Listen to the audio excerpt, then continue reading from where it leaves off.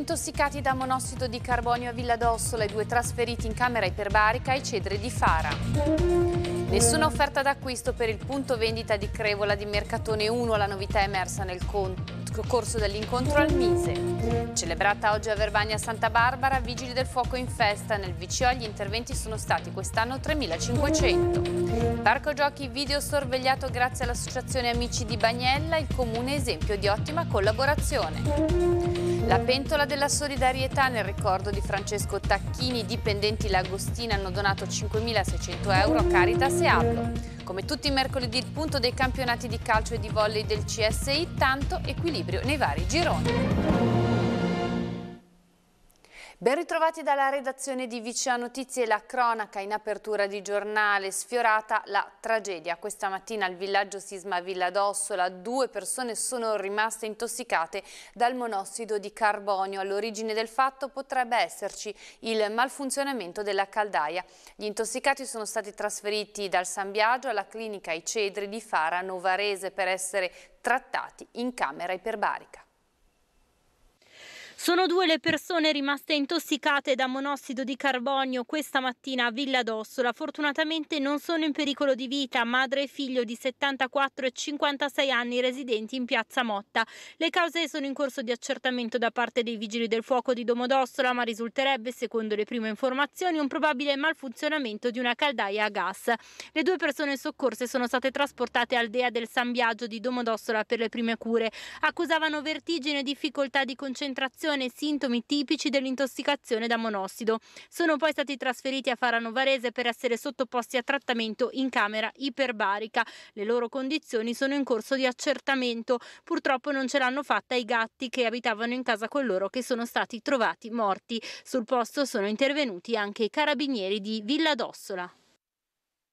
Ora invece siamo all'occupazione, in primo piano l'avvertenza Mercatone 1, ieri c'è stato un importante tavolo al Ministero per lo sviluppo economico, purtroppo non ci sono buone notizie per gli ex lavoratori del negozio di Crevola d'Ossola, i potenziali nuovi acquirenti pari non siano interessati all'affare.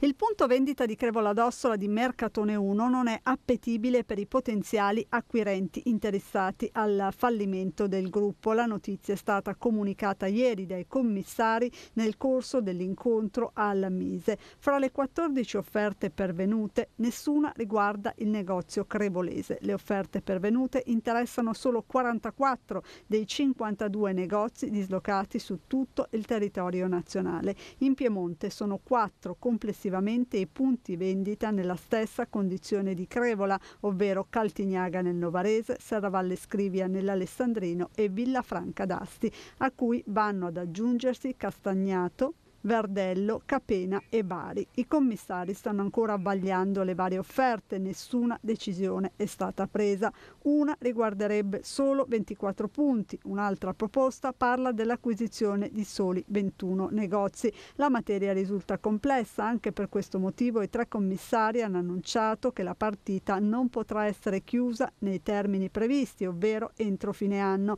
e hanno lasciato intendere la richiesta di una proroga. Contestualmente sarà chiesta anche l'estensione della cassa integrazione straordinaria per gli ex lavoratori del colosso dell'arredamento low cost e se la situazione non fosse già abbastanza difficile da sottolineare anche i timori espressi a livello nazionale dai rappresentanti sindacali presenti al Mise ieri e che seguono l'avvertenza. C'è preoccupazione rispetto alla tenuta occupazionale, dice Michele Piffero della CGL Novara VCO. Questo perché l'informativa sulle offerte presentata ieri al Mise lascerebbe intendere che i lavoratori che saranno coinvolti nella potenziale cessione dovrebbero essere meno della metà del totale.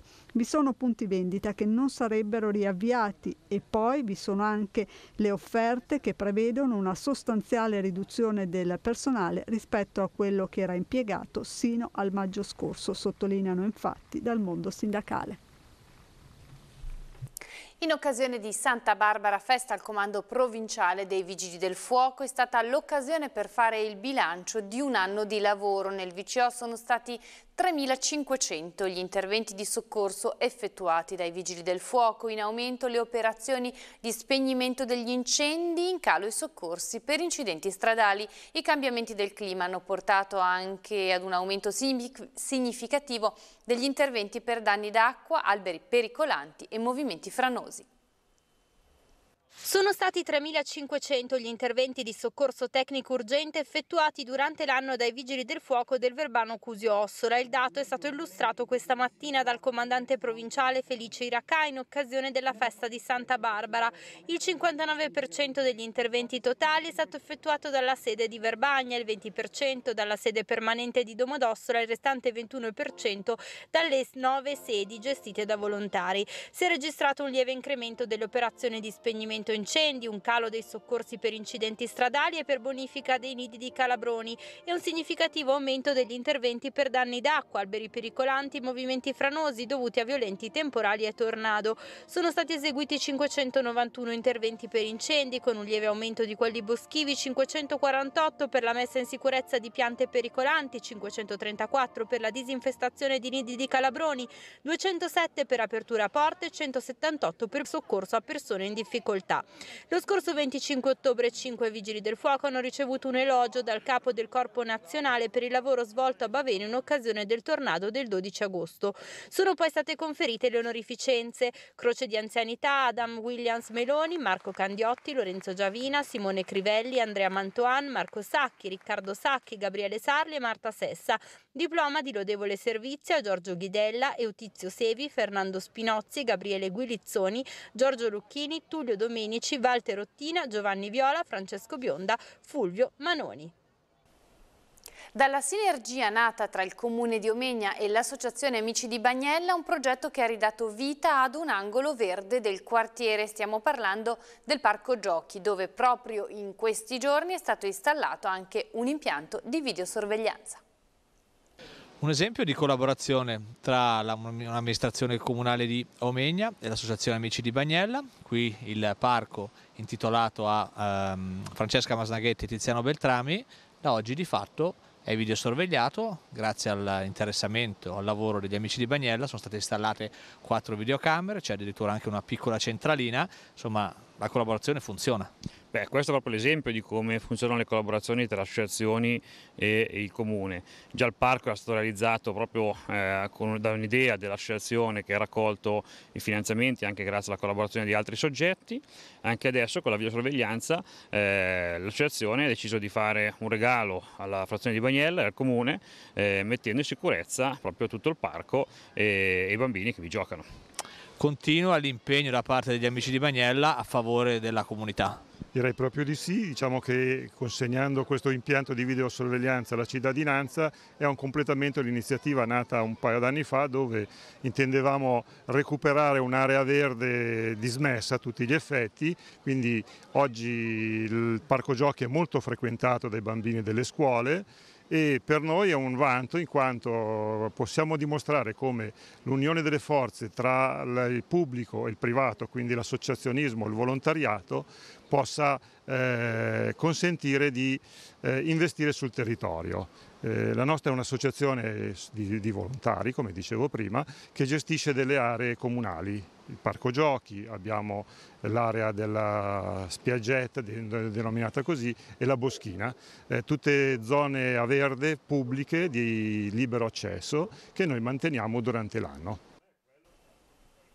è stata denominata la Pentola della Solidarietà e l'iniziativa promossa ogni anno in occasione del Natale dalla Lagostina, l'azienda del casalingo con sede a Omegna. Si tratta di una raccolta benefica. Ogni anno l'Agostina mette in vendita a prezzi stracciati prodotti di fine serie. Il ricavato, quest'anno 5.600 euro, è stato diviso in parti eque alla Caritas di Omegna e all'associazione Ablo in questa pentola, nella pentola Lagostina, eh, bolle la solidarietà e così eh, ormai da tantissimi anni, 5-6 anni, ma forse anche da prima, eh, alla vigilia di Natale i dipendenti dell'azienda fanno, oh, grazie alla direzione, una raccolta straordinaria eh, diciamo, di fondi che poi vengono appunto eh, destinati a solidarietà. E la pentola della solidarietà è diciamo, diventato un, un modo eh, per devolvere a categorie, eh, associazioni che non sono fortunate eh, dei fondi che tramite questo meccanismo raccogliamo eh, tramite una partecipazione che dobbiamo dire è veramente straordinaria, eccezionale di tutti i dipendenti della, della società che tramite eh, la possibilità di acquistare a delle cifre veramente simboliche dei prodotti che non hanno più diciamo, continuità sul mercato, quindi sono dei fine serie, dei, dei residui di, di, magazzino e quindi con questo ricavato poi dopo eh, decidiamo di eh, evol evolverlo in, in, beneficenza. Quest'anno nel, nello specifico eh, siamo, abbiamo ritenuto eh, questa iniziativa eh, utile al fine di devolvere il, il ricavato, sono circa 5.600 euro che verranno eh, devoluti in parti uguali a due associazioni di volontariato di Omegna che sono la ABLO e la San Vincenzo. Qui eh, dobbiamo dire che in questa occasione quest'anno è veramente particolare perché eh, abbiamo fatto ha dato seguito ad una eh, volontà espressa dalla famiglia di un nostro eh, collega Luigi Tacchini che purtroppo quest'anno ha, ha perso il proprio figlio in un incidente stradale un modo davvero bello per ricordare eh, Francesco che svolgeva questa attività di volontariato con voi della San Vincenzo e della Caritas anche. Certo, sicuramente ringraziamo la ditta Lagostino e tutte le maestranze che hanno pensato a questo bellissimo atto di solidarietà in ricordo di Francesco che ricordiamo veramente con tanto affetto e auguriamo a tutti tanto bene e alla famiglia di ritrovare pace e serenità. Una testimonianza concreta anche per voi di Ablo perché eh, Francesco collaborava con voi, era un vostro amico ed è anche un bel ricordo questo. Certo, posso solamente ringraziare per, per, per, la donazione che è stata fatta in memoria proprio a Francesco, eh, che è stato proprio un, importante per noi, ci ha aiutato tanto. Solidarietà anche nei prossimi servizi. Nel passato fine settimana anche nei supermercati del VCO è stata protagonista l'iniziativa La colletta alimentare nel servizio Il punto sulle donazioni. La ventitresima giornata della colletta alimentare nel VCO ha fruttato qualcosa come 31.586 kg di derrate alimentari. Si tratta di generi di prima necessità che saranno distribuiti a tante persone bisognose del territorio dai quattro enti ed associazioni del Verbano Cusiossola collegati al banco alimentare. Nel dettaglio, l'area del Verbano ha donato 13.417 kg di materiali. L'Ossola ha sfondato il tetto dei 12.000. Buona anche la performance del Cusio, che ha aggiunto al materiale raccolto 6.105 kg di generi alimentari. Una giornata di grande solidarietà che ogni anno mette in moto un'oliata macchina anche a livello di volontariato. A livello locale infatti i volontari mobilitati nei 50 punti vendita che hanno aderito all'iniziativa sono stati circa 700. Per quanto riguarda le associazioni che hanno operato sul campo con la raccolta dei generi donati nei vari supermercati della provincia, vale la pena citare Elda Zagna di Domodossola e San Vincenzo di Omegna, oltre ai frati minori cappuccini. Una giornata di mobilitazione anche per gli alpini del VCO. Ultima nota riguarda la presenza di molti giovani studenti fra i volontari impegnati nella raccolta del materiale donato. Ed ora l'iniziativa benefica della Casa del Profumo in occasione dei mercatini di Natale di Santa Maria Maggiore. Una candela a sostegno del progetto per l'acquisto di una nuova apparecchiatura per l'urologia dell'ospedale San Biagio di Domodossola per la prevenzione e la diagnosi precoce del tumore alla prostata. È targata Casa del Profumo e sarà venduta presso la Casa Museo in occasione dei mercatini di Natale di Santa Maria Maggiore dal 6 all'8 dicembre. L'attenzione della manifestazione quest'anno è verso l'ambiente con stoviglie compostabili presso i punti di ristoro e verso la solidarietà, da qui la decisione di appoggiare la raccolta fondi. Sono molto contento, sono onorato che eh, gli organizzatori del, dei mercatini di Natale Santa Maria in Maggiore e la Casa del Profumo hanno aderito al, al, al progetto anche perché il, uno degli obiettivi principali della nostra struttura complessa di urologia è proprio diffondere la prevenzione e la diagnosi precoce del tumore prostatico.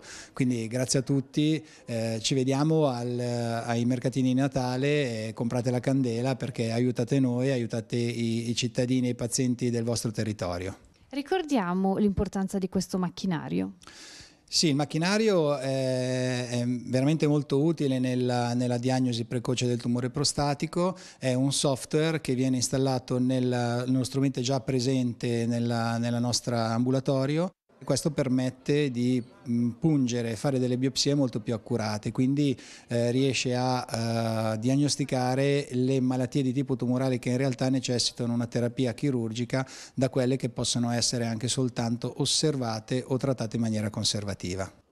Intanto l'iniziativa promossa da Antrona con le Stelle ha già raccolto 10.000 euro ai quali se ne sommano altrettanti di Fondazione Comunitaria VCO. Ne servono 36.000 in tutto.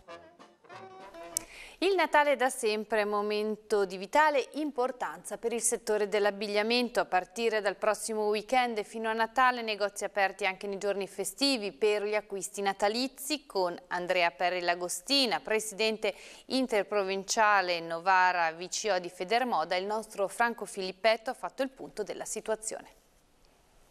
Come sono andate le cose? Le cose sono andate abbastanza bene, diciamo che c'è stato un afflusso turistico, un forte afflusso turistico, una vendita media più bassa rispetto agli anni passati, però diciamo possiamo, possiamo dire che è stata positiva. La clientela, sì, oltre ai locali, ci sono anche villeggianti, stranieri? Soprattutto, villeggianti, soprattutto stranieri, eh, si sono rivisti villeggianti e anche le, le visite fuori porta dalla, dal milanese, Varesotto, insomma ecco le, le giornate toccate fuga. Diciamo che quello che si è registrato adesso è una buona prospettiva poi per l'inverno? Speriamo, speriamo sia di buon auspicio, purtroppo abbiamo durante la settimana questo calo fisiologico e, e poi abbiamo una forte affluenza, affluenza al fine settimana. Eh, speriamo di costantizzare questa, questa, questa affluenza. Ecco. Per quanto riguarda i prodotti invece italiani oppure avete anche prodotti che vengono dall'estero? Beh, soprattutto ehm, per il Made in Italy e puntiamo soprattutto sul Made in, eh, il Made in Italy che è il nostro fiore all'occhiello. C'è da aggiungere che proprio per favorire gli acquisti natalizi ad Arona, la Giunta Gusmeroli nella seduta di ieri ha deciso di rendere gratuito il parcheggio di Piazzale Barberi. Succederà da venerdì 6 dicembre e per tutto il mese. La nuova disposizione sarà in vigore dalle 21 del venerdì fino alla domenica sera. E nuovo aperitivo con gli Nuovo appuntamento con gli aperitivi in biblioteca organizzati dai ragazzi della Consulta Giovani del Comune di Domodossola sabato prossimo 7 dicembre alle 17.30 presso la Biblioteca Civica è programmato l'incontro dal titolo L'attualità dei principi fondamentali della Costituzione a 70 anni dalla sua entrata in vigore. Sarà l'occasione per dialogare con Giovanni Boggero, ricercatore di diritto costituzionale presso l'Università degli Studi di Torino. Torna da questo fine settimana a Verbania Divertilandia, diverse novità dal punto di ristoro allo Sky Bar. Sull'onda del successo degli anni passati torna da questo fine settimana a Villa Giulia a Verbania la quinta edizione di Divertilandia, evento dedicato ai piccoli organizzato dalla no profit Ape VCO in una formula rinnovata. Invitiamo tutti i bambini a venire a questo evento che è un evento sicuramente che dà tante possibilità in quanto il bambino venendo a Villa Giulia può sbizzarrirsi tra laboratori, eh, spettacoli, animazione, visita di eh, stanze bellissime e quest'anno in più ci sarà anche il presepe, ma abbiamo pensato anche ai genitori, quindi ci sarà ristorazione, uno sky bar, eh, la possibilità di, eh, di, consumare degli aperitivi in modo che mentre i bambini magari si dilettano nelle attività i genitori possono trascorrere delle piacevoli ore. Sono previste aperture al pubblico dalle ore 14.30 alle 18.30 in tutti i weekend prima di Natale e dal 27 al 30 dicembre. In alcune giornate sarà in funzione il trenino sul lungolago. Ci saranno anche aperture dedicate alle scuole. Non è trascurato l'aspetto della solidarietà, sarà infatti presente la Fondazione sulla ricerca della fibrosi cistica Delegazione di Varese per raccogliere fondi per la ricerca ma anche per sensibilizzare e sollecitare l'interesse verso questa patologia. Prima delle notizie sportive uno sguardo alla nostra programmazione, domani alle 18 con repliche nella giornata di venerdì alle 13 alle 21.30 l'appuntamento è con l'infinito dentro un bisogno, questa settimana spazio all'incontro dell'infinito dentro un bisogno e si parlerà di realtà virtuale. E ora siamo allo sport, come tutti i mercoledì spazio al CSI, cominciamo dai risultati del calcio. Un terzetto in vetta alla girone A del CSI. Il Premia però è la sola a punteggio pieno con 7 vittorie in 7 partite, l'ultima per 3-2 contro la Cappuccina.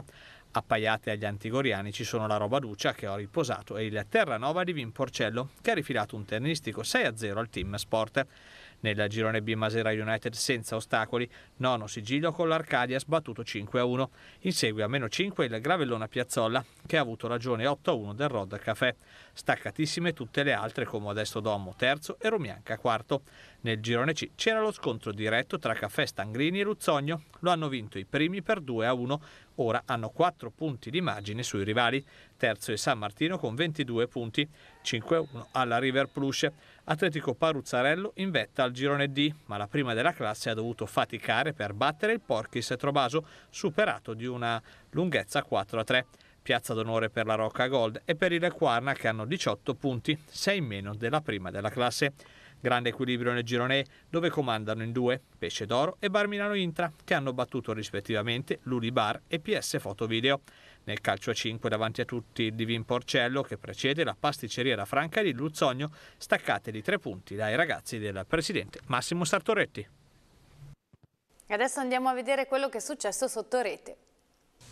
Il resoconto della settimana del volley CSI parte dalla presentazione della prima uscita stagionale di quello che è probabilmente il fiore all'occhiello dell'attività sotto rete del comitato VCO del Centro Sportivo Italiano. Inizia come da tradizione l'8 dicembre, giorno dell'Immacolata Concezione, il circuito provinciale di minivolli che nelle ultime annate ha catalizzato numeri importanti dal punto di vista partecipativo e dal punto di vista organizzativo. Si gioca domenica al Palasport di Ornavasso con inizio alle ore 10 conclusione indicativamente con le più classiche delle premiazioni dopo le 16. Tra le opportunità di gioco sulla moltitudine di campetti disegnati sul parquet dell'impianto che ha scritto pagine importanti del volley locale, ecco la palla rilanciata per le annate 2012, 2013 2014, primo livello per le annate 2010 2011 e 2012 ed infine secondo livello per il 2008, 2009 e 2010. Dopo la prima uscita, la stagione per i più piccini e le più piccine verterà su 12 tappe da dicembre 2019 fino al 2 giugno 2020 con la classica gran conclusione al Lido di Omegna. I campionati intanto continuano la loro corsa, in Under 13 Omegna batte 3-0 Rosalziola Piedimulera e scappa a 12 punti, seguita a 8 da Vogogna e Rosalziola Verbania, con la formazione di Sonia Cottini che ha vinto 3-0 contro Invorio. Tra le allievi a 12 punti c'è area libera tallonata da Rosalziola Piedimulera e Volley Vigezzo a 9. Perde contatto Verbania dopo due stop consecutivi. Il campionato juniores propone un tandem alla guida del torneo con Omegna e Area Libera Premosello che comandano con 12 punti totali.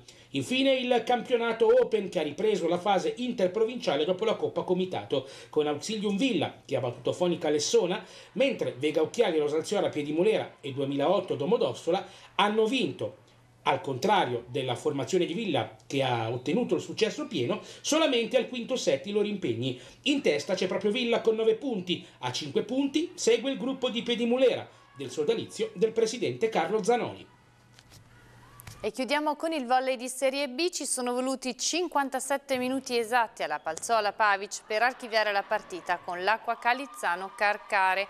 3-7-0 la dicono lunga sulla ritrovata forma delle Sesiane che nelle tre fasi di gioco hanno dominato ampiamente le Savonesi senza mai lasciare spazio alle loro iniziative. Un recupero, l'incontro doveva disputarsi il 23 novembre scorso, quello di martedì 3 dicembre che ha visto le ragazze di coach Papadopoulos in gran forma Pronti a disputare sabato 7 dicembre tra le mura amiche del Palas Ganzetta il match con la libellula Aria Bra che in classifica si trova a quota 6 punti. Ora la Palzola Pavice a 12 punti a pari merito con Alba Volley e Caselle Volley in una classifica dominata dal team del volley Garlasco.